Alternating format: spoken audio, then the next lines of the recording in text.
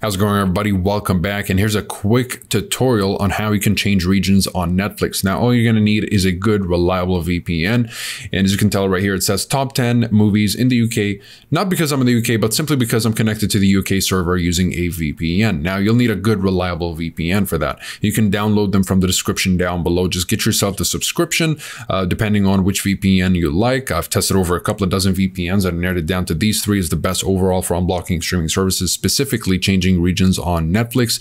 Uh, they all vary in budgets and features, so pick and choose depending on your own situation and where you're looking for out of your VPN and your own specific needs and preferences and budget, of course.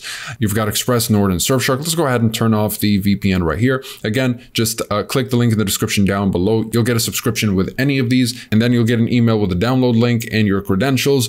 Download the application, install it on your computer, and then you'll have one of these clients depending on which one you download it. I'll go ahead and just demonstrate using ExpressVPN. Let's say you download ExpressVPN VPN, you're good to go. You want to unblock the American Netflix library.